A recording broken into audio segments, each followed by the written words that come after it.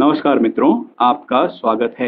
Happy birthday lots of love आप अपने किसी परिचित को उनके जन्मदिन पर, उनके जन्मदिन की शुभकामना देने के लिए उपयोग में लाते हैं। और happy birthday lots of love का हिंदी में अर्थ होता है, जन्मदिन की शुभकामनाएँ, ढेर सारा प्यार। Happy birthday lots of love का हिंदी में गहरा अर्थ यह है कि जन्मदिन की शुभकामनाएँ और मेरी ओर से आपको ढेर सारा प्यार। तो आज के बाद आप भी अपने परिचितों को उनके जन्मदिन पर happy birthday lots of love कह सकते हैं। और अब आप इस वीडियो को लाइक करिए, अपने परिजनों में शेयर करिए। धन्यवाद।